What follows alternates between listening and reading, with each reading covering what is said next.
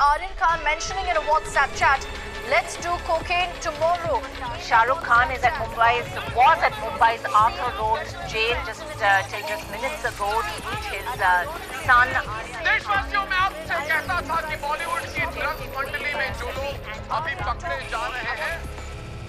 Hello, I'm Richard Gizbert, and you're at The Listening Post, where we don't cover the news, we cover the way the news is covered.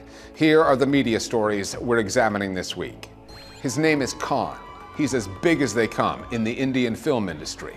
We look at the drug bust that tells a story of the conflict between the authorities there and Bollywood. Facebook and the continuing fallout from that whistleblower. A consortium of news outlets is now on the company's case. You're at sea. Alarm phone, the hotline in the Mediterranean that refugees are using to get their stories out. And je scroll, you scroll, we all scroll. What's it going to take to get us off our phones? On paper, it looked like a routine drug bust. A group of 20 somethings partying on a cruise ship off the coast of Mumbai, charged with possession and trafficking. It was anything but routine. Among those arrested was Aryan Khan, the son of one of India's and the world's biggest movie stars, Shah Rukh Khan. The circumstances suggest this case was never just about the son or the narcotics allegedly involved. The authorities appear to be going after his father, who is Muslim and belongs to a film industry, Bollywood, whose secular and liberal output conflicts with the ruling BJP party's Hindu nationalist ideology known as Hindutva. Aware of the film industry's sway on the masses, some say that the government has taken a two track approach. On one hand, Prime Minister Narendra Modi makes nice with some of Bollywood's biggest stars. On the other, his government's anti drug squads target the film industry, sending a message. Our starting point this week is Mumbai. A drug bust alleged on a cruise ship off the coast of Mumbai. Among the eight young people taken into custody, Aryan Khan, the son of one of India's and the world's biggest movie stars, Shah Rukh Khan, who happens to be a Muslim. Actors ही नहीं अब तो उनके बच्चों के नाम भी इस पूरे ड्रग्स के केस में आ रहे हैं ये बड़ी बात है It is a salacious story, custom made for Indian news channels that are themselves addicted to Bollywood. Bollywood का एक ऐसा नाम एक्सपोज हो जाएगा and the celebrity driven stories it provides that drive ratings. The details are murky, and there's a larger pattern at play. The Indian authorities are targeting Bollywood and what the film industry has come to represent.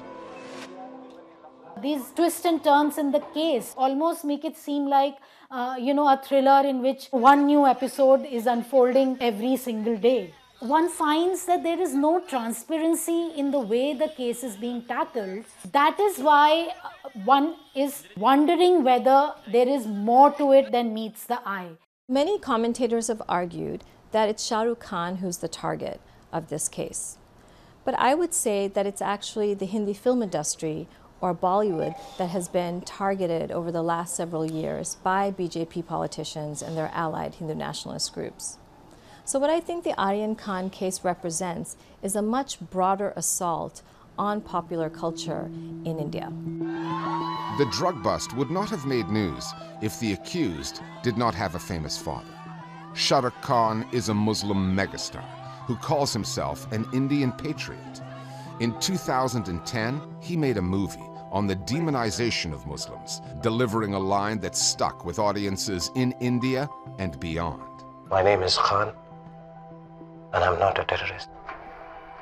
Khan is married to a Hindu and is one of the faces of an industry that celebrates and exports stories of secularism and liberalism, an implicit rejection of the ruling BJP party's Hindu nationalist ideology. Shah Rukh Khan represents an older ideal of India as a secular, multi ethnic, and pluralist nation. He's a Muslim who grew up in Delhi in really modest economic circumstances. He goes to Bombay to make his mark in the entertainment industry and succeeds wildly. And I think the very existence of a successful, popular, well respected Muslim man challenges or threatens the Hindu nationalist ideologies that have been prevailing over the last several years, which are trying to portray Muslims as the ultimate other outsider or villain. I don't want to believe that that is why he's being targeted, but there is a rising sentiment of Islamophobia in the country, and it, it is possible. Shah Rukh Khan, what he says travels all over the world, it, it is heard all over the world. If given the option of controlling that, I assume anybody would want to. I don't know why people are focusing only on this party and this government. Since I was born in this country, I have seen every single government has intimidated uh, anybody who's against them. Since independence, in India, politics and Bollywood have had a very strange relationship. Politicians have used uh, film stars uh, during elections to get votes. In return, Bollywood stars take favors from politicians. It's a dirty game, you know, and everybody is part of it. Shah Khan is far from the only Bollywood figure caught up in an anti drugs crackdown conducted by the Narcotics Control Board, the NCB. He's just the most famous name on a list that over the last few years has grown to include multiple actors, writers, and directors. Not all of them Muslim. In fact, most of those arrested are Hindu. The first big drug related case happened last year when an actor uh, called Rhea Chakraborty was arrested and she spent time in prison and then there were people also called in for questioning by the NCB for drug related matters. The Hindi film industry is the country's biggest soft power in terms of dissemination of ideas and thoughts and messages. It to me feels like an attempt to gain more power. There were other actors like uh, Shraddha Kapoor, Sara Ali Khan, and the superstar Deepika Padukone also called in for questioning. Eight top entities from Bollywood are very much part of a massive drug cartel. That's the bottom line. Bollywood was being vilified left, right, and center as though it was some hotbed of all kinds of crimes and a place which was uh, hiding all kinds of criminals. When Narendra Modi's BJP first came to power in 2014, the party was more focused on the news landscape than the film industry.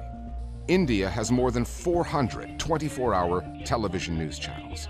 The vast majority of them are now securely in the government's camp, some for ideological reasons, others for commercial ones, or just to avoid angering the authorities in New Delhi.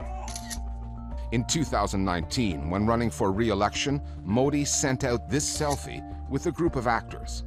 Like many prime ministers before him, he was trying to cozy up to film celebrities and their huge followings of potential voters. But the BJP's pro Hindu conservative policies are not an easy sell in Bollywood, with its secular, liberal reputation. Those policies are far more popular with Indian news channels, which once again have the government's back. The dark and rotting underbelly of the Bollywood elite is falling apart, and I can tell you it stinks. If you take out the media out of it, suppose media doesn't highlight this, then nobody cares. If those eight young boys and girls were caught minus Aryan Khan, nobody would have cared. Now media has sensationalized it. कि इतने वर्षों तक बॉलीवुड के जिन नायकों को आप असल में सुपरस्टार समझते थे। Indian television news media is a embarrassment for humanity the biggest destructive force today is Indian television news media they scream and shout and destroy live this case they have made it so big that i am sure that even judges must be thinking in their mind, if i take this decision, what will happen if i take that decision? What's going to happen? Let's call out, clean up, and boycott the Bollywood dirt. What do you say? If you look at how media has over the past few years been uh, completely compromised, I see parallels because media and um, cinema are uh, two very strong mediums, you know. Uh, one is bringing news to you, other is catering to your fantasies. Sometimes, when it comes to public figures, What doesn't get said is as revealing as what does. Indian actors have among the biggest social media followings on the planet, numbers that routinely run into the tens of millions. But if Shah Rukh Khan went online searching for messages of support from within his own industry, he would find very few people willing to back him, at least publicly. That silence tells its own story about the hazards of free speech in Narendra Modi's India. Many Indians criticize Bollywood celebrities for not being as politically outspoken as their Hollywood counterparts. After the election of Donald Trump, many people were comparing how vocal Hollywood stars were in their criticism of Trump as compared to how Bollywood stars could never be as outspoken. But I think there's real consequences for being outspoken in India. Celebrities could get trolled incessantly, their movies could be boycotted, and finally, they or their families could be in physical danger. Even if political powers or government agencies don't come for you, there's also targeted online attacks, Twitter attacks, Instagram attacks that lead to loss of work. Not everybody wants to pay that price. Majority of them are not speaking. What that is a harbinger of, we'll find out. It just feels like another nail in the coffin of free speech. Hardly a week goes by, it seems, without Facebook turning up in your news feeds for all the wrong reasons. This time, a consortium of news outlets has been publishing stories about the company. Nic Muirhead's been following these stories. Nic, beyond what we looked at just a few weeks ago, that whistleblower story, why is Facebook back in the news? That whistleblower, former Facebook employee Frances Haugen, initially took her story to the Wall Street Journal, where she leaked thousands of internal documents to the paper. Haugen has now made those documents available to a consortium of more than a dozen news outlets, including the New York Times and Washington Post in the US, and European outlets like Le Monde in France and Süddeutsche Zeitung in Germany. And what kind of stories are we seeing as a result? Well, much more detail, pretty damning detail, that Facebook is well aware of its uh, problems with misinformation and hate speech in the US, but even more so outside of the US in non English speaking countries, and it's doing very little to prevent it. Um, going back to India in 2019, just before the general election, the documents show that Facebook employees set up a dummy account to test user experience there. That account was quickly flooded with no prompting quickly flooded with pro Modi propaganda and anti Muslim hate speech. As you know, Richard, India is seeing an alarming rise in Islamophobic attacks.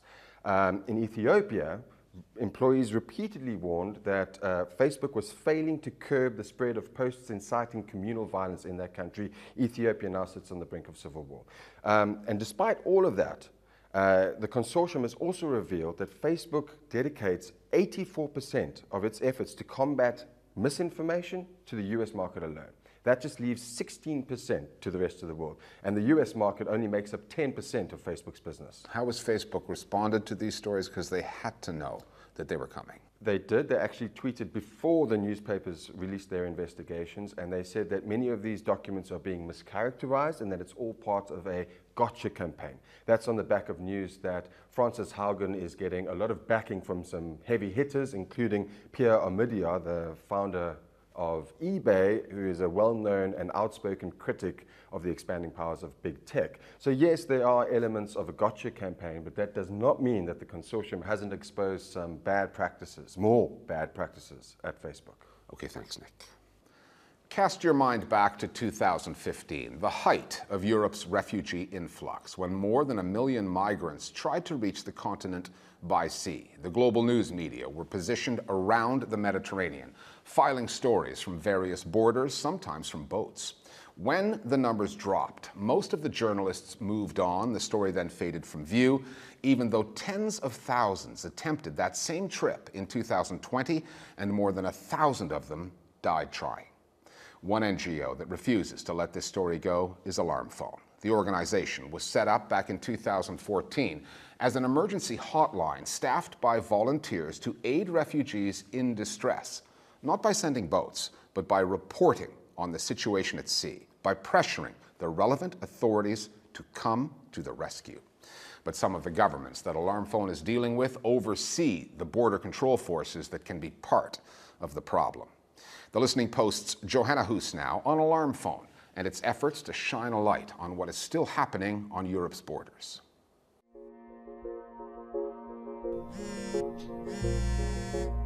Hello, my friend. This is Alarm Phone. Yes, hold, hold on, hold on. You're at sea.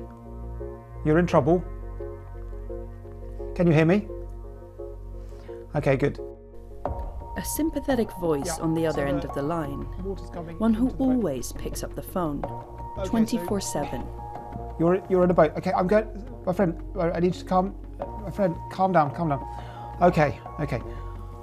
I'm going to need your position. Can can you get me your GPS position?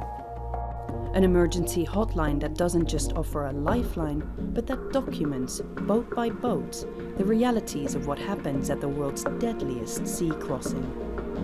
Your engine stopped.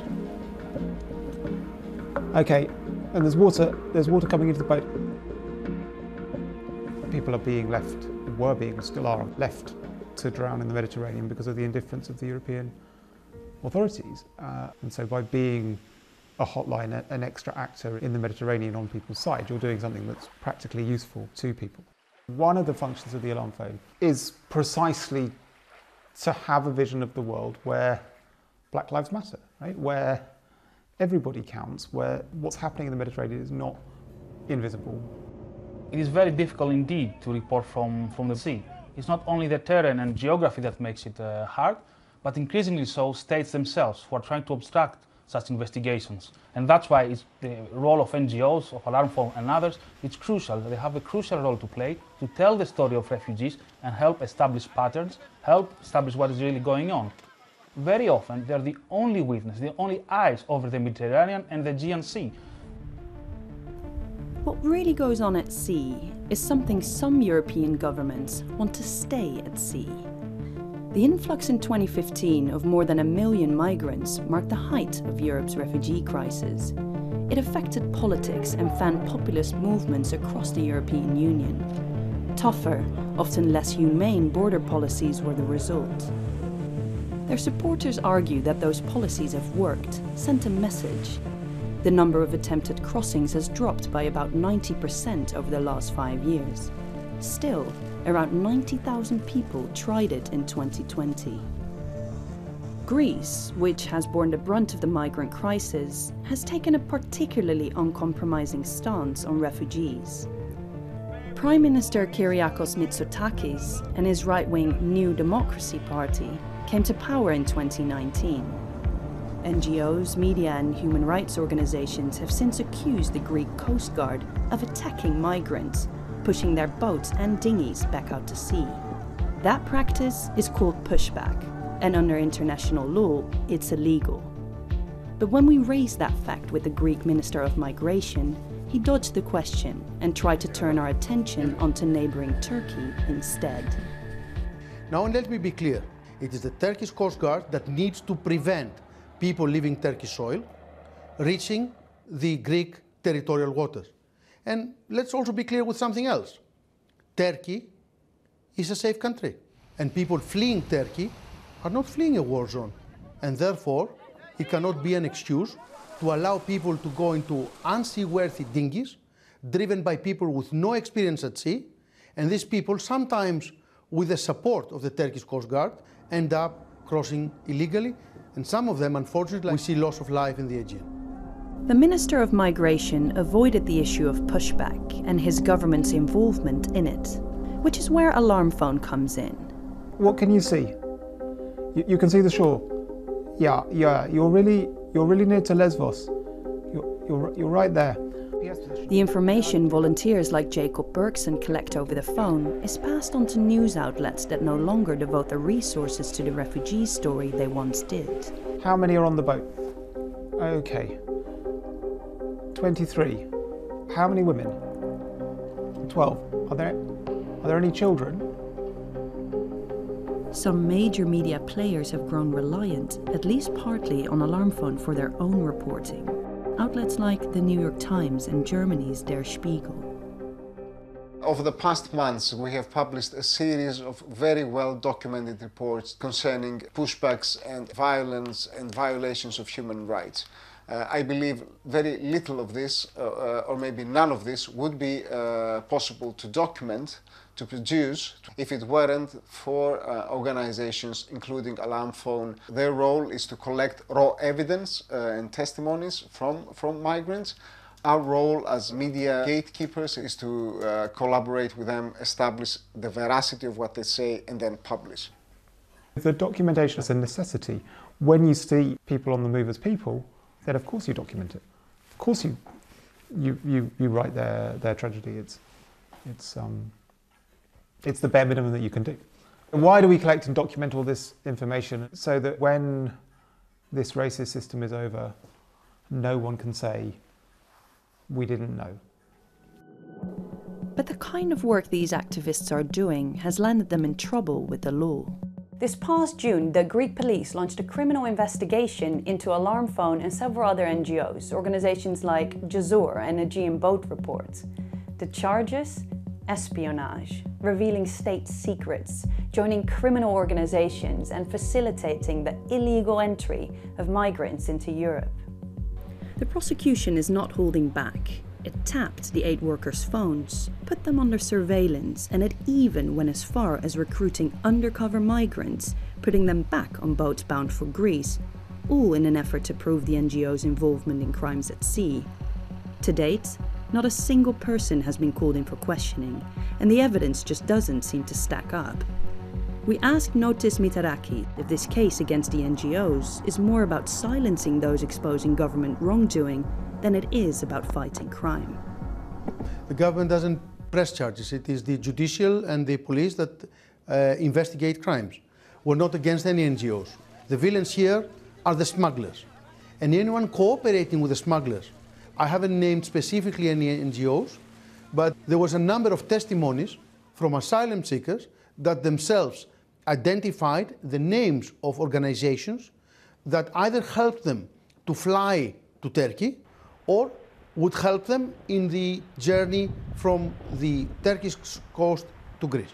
This is deemed as a crime, and it is the police and the courts that will decide. I find it very, very, very hard to believe that this will ever end up in a guilty sentence based at least on what I have seen in the police file. But I don't think the Greek government or authorities' purpose is a conviction down the road. It is to say that people who get in our way, these people uh, need to, to learn their lesson, uh, to learn their place, and also to uh, preemptively discredit their reporting uh, because any future reporting that is based on alarm phone data would be much easier for the Greek government to dismiss uh, uh, as uh, propaganda by uh, NGOs who are already under criminal investigation. When you are on the field and reporting on this kind of violations, abuses, there's always going to be uh, pressure. Abusers will never want to be under scrutiny. There is no doubt that allegations of smuggling must be investigated thoroughly but one must make a distinction between those who profit from misery and those who are there to help. States have a duty to protect human rights defenders and not prosecute them. I'm going to call the Greek Coast Guard and hopefully they're going to, they're going to come. According to Alarm Phone, the real crimes aren't the ones the Greek authorities are investigating. It's the ones the state is committing. Try and keep getting that water out of the boat and keep, keep everybody calm. Keep calm, okay? Despite the Greek government's attempts to intimidate, Alarm Phone is still there, at the receiving end of phone calls that may be the start of a refugee's new life or the last call they ever make. So that no one, journalists and politicians included, can ever say we did not know. Okay, my friend, I'll call you in 10 minutes. Okay, thank you. Speak, speak soon. Bye.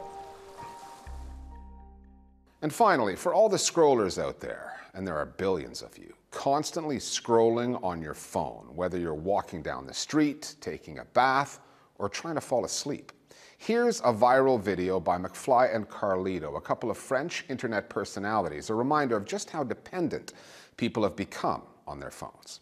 McFly and Carlito's videos are so popular in France that earlier this year, President Emmanuel Macron challenged the pair to produce something about COVID safety guidelines. It got more than 15 million views. Their Je Scroll video is at 1.5 million views, scrollers included, and counting. We'll see you next time here at the Listening Post. Chez le vétérinaire, je scroll. Dans le RER, je scroll. Quand je prends mon bain, je scroll. En cours d'espagnol, je scroll, je scroll. Quand mon père me parle, je scroll. Devant la télé, je scroll. Au mariage de mon pote, je scroll. Je mange de la compote et je scroll. Du matin jusqu'au soir, debout sur le trottoir. Du soir au matin, Ah, merde, j'ai loupé mon train. Le pouce est déchaîné, toujours le coup penché. Je peux pas décrocher, batterie déchargée. Traversant la rue, fais renverser, je scroll. Luxation du poignet, je scroll. Pas grave, je change de main et puis je scroll. Dans l'ambulance, je scroll. La famille me rend visite, je scroll. Ma mère pleure, mais je scroll. Mon grand frère m'engueule, mais je scroll.